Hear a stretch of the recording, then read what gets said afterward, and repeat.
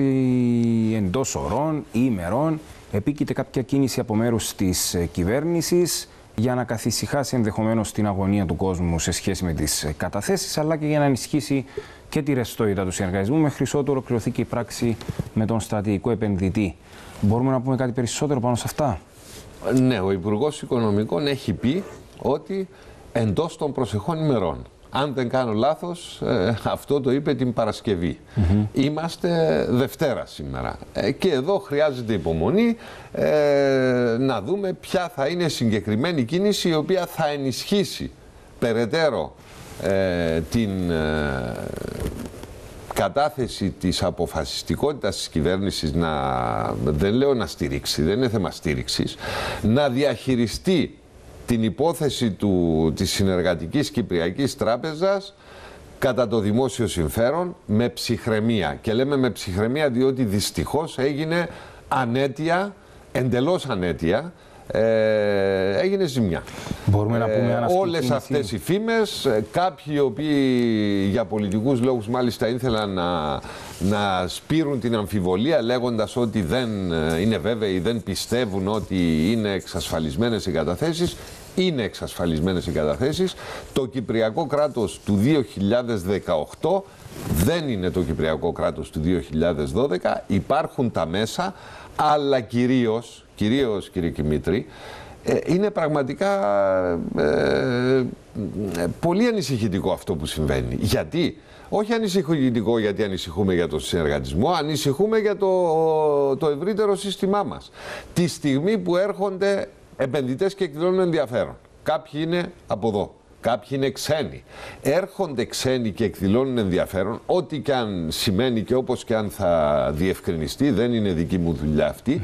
Αλλά ενώ υπάρχει ενδιαφέρον να έρθουν με πολλά εκατομμύρια να μπουν σε αυτή την υπόθεση της ε, αναδιάρθρωσης ε, της ε, νέας πορείας της, της τράπεζας αυτής, εμείς οι ίδιοι ξεκινάμε και με φημολογία. Ε, κάποιοι έστελναν SMS, κάποιοι εμφανίζονται ως αυτόκλητοι ε, ε, εξαπορεί των πληροφοριοδότες. Είναι απίστευτα αυτά, αυτά τα πράγματα γιατί μιλάμε εδώ για μια κρατική τράπεζα δεν είναι μια ιδιωτική υπόθεση. Πάμε να δούμε κάποια Και το πολιτικό σύστημα, πολύ καλά ε, τελικά αναβλήθηκαν και συνεδριάσεις της Βουλής. Ε, πρέπει να μείνουμε σοβαροί, νυφάλοι και ε, να είναι βέβαιος ο κόσμος ότι θα ληφθούν οι αποφάσεις οι καταλληλότερες, οι καλύτερες, ναι. οι συμφερότερες γιατί εμείς δεν ξεχνάμε ότι ο συνεργατισμός σήμερα υπάρχει, υπάρχει. Το 12 είχε έρθει το τέλος. Το τέλος. Κάποιοι φωνάζουν για τα πέντε χρόνια αυτά. Το πρόβλημα δεν είναι τα πέντε χρόνια. Το 12 ήταν το τέλος. Και εκεί στο τέλος βάλαμε όλοι μαζί 1,7 δισεκατομμύρια, 1.700 εκατομμύρια από τα λεφτά του φορολογούμενου πολίτη για να σώσουμε αυτό το σύστημα, το οποίο από μόνο του δυστυχώς δεν είχε σωθεί. Κύριε Προδρόμ. Άρα λοιπόν το λέω αυτό γιατί ακούμε και πολιτικά σχόλια. Να μετράμε τα λόγια μας και να συμβάλλουμε να εκεί και στην καλύτερη διαχείριση των ε, κεφαλαίων που είναι λεφτά των φορολογούμενων. Η κίνηση από μέρους της κυβέρνησης να την αναμένουμε μέχρι το τέλος της εβδομάδας. Ε, σύμφωνα με αυτό που είπε ο Υπουργός Οικονομικών, θα έρθει αυτές τις μέρες. Και η κίνηση αυτή δεν είναι κάτι το οποίο. Ε, το ζητούμενο δεν είναι αυτή η κίνηση. Η κίνηση αυτή θα γίνει υποστηρικτικά, γιατί συνέβησαν όλα αυτά. Είναι το τι θα γίνει το ζητούμενο, το οποίο και πάλι δεν είναι θέμα για να το συζητάμε δημόσιας στι τηλεοράσεις, έχει πολλές τεχνικές πτυχές. Δεν είναι κάτι που είναι μόνο στο δικό μας χέρι. Γίνεται σε συνεργασία με τις ευρωπαϊκές αρχές, γιατί η Συνεργατική και Κυπριακή Τράπεζα ανήκει πλέον μέσα στο ευρωσύστημα, στην Τραπεζική Ένωση, εποπτεύεται κατευθείαν από, την, από το κέντρο και σε συνεννόηση και με τους μηχανισμούς αυτούς ε, θα ληφθούν οι αποφάσεις για να προχωρήσει παρακάτω η τράπεζα αυτή. Επειδή... Εκεί, εκεί είναι το, το κρίσιμο και το ενδιαφέρον. Αυτές οι αποφάσεις. να περιμένουμε να έρθουν στην ώρα τους. Απλά επειδή υπάρχει το ρεπορτάζ πάνω σε αυτό το θέμα και Βλέπουμε να είναι διτή κίνηση που ετοιμάζεται από την κυβέρνηση. Η κατάθεση ρεστών διαθεσίμων. Ε, μπορεί να, κύριε Κιμήτρη, ε, χωρίς να ξέρω ή να πρέπει να ξέρω κάτι ιδιαίτερο, θα σας έλεγα το εξής απλό. ε, και εγώ ως ε, πάλε ποτέ οικονομολόγος, αλλά και ο καθένας που δεν είναι ανάγκη να είναι οικονομολόγος, μπορεί να σκεφτεί πώς μπορεί ένα κράτος να στηρίξει μια τράπεζα. Έχουμε ακούσει πολλές φορές το εξωτερικό. Δυστυχώς στην Κύπρο τη μία φορά που χρειάστηκε, το 12-13, το κράτος δεν ήταν σε θέση να το κάνει αυτό.